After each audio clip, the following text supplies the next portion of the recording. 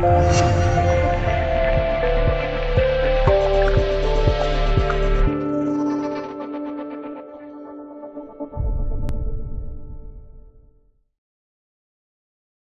标题：歼二十同门出口型战机失联后自主返航，让用户国连连称赞。作为中国的重要飞机生产商，航空工业成都飞机设计组合成飞公司制造了无数经典的飞机，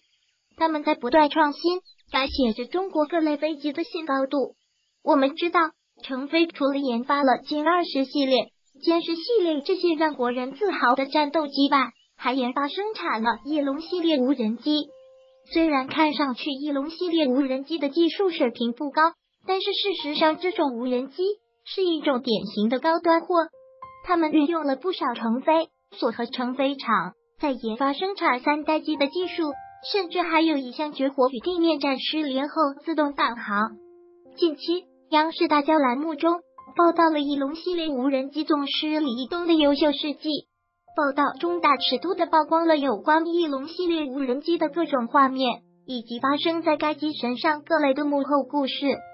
其中提到，几年前的一天，用户国派出翼龙无人机执行任务，但在飞出几十千米后，有用户国飞行员操作失误，地面站与飞机之间的信号突然中断，飞机失联了。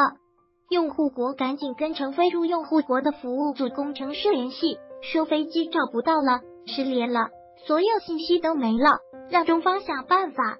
因为飞机飞出太远，中方服务组也没有能搜索到出去执行任务的翼龙无人机的信号。随后，该国空军启动雷达进行搜索，但由于无人机的飞行高度较低，雷达也没能搜索到这架无人机。用户国安慰中方工程人员没事，但是乘飞工作人员却将心提到了嗓子眼儿。因为这是翼龙无人机飞行了数百架次，头一次出现了这样的情况。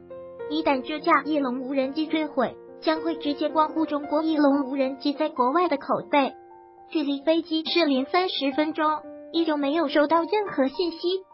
所以用户国派出相关人员，沿着翼龙无人机的飞行航迹搜索飞机下落，哪怕是残骸也好。就在这时，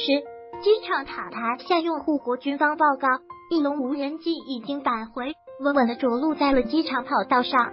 大家悬着的心终于放了下来，这成功的验证了翼龙无人机锻炼返航功能的可靠。这也为翼东和团队带来了更加充足的信心，更让用户国对中国出品的战机恋恋称赞。此后，这个团队不断进取，甚至创造了当年立项、当年首飞、当年交付的奇迹。目前。翼龙正以其出色的表现，让越来越多的国家信任这个品牌和这支团队。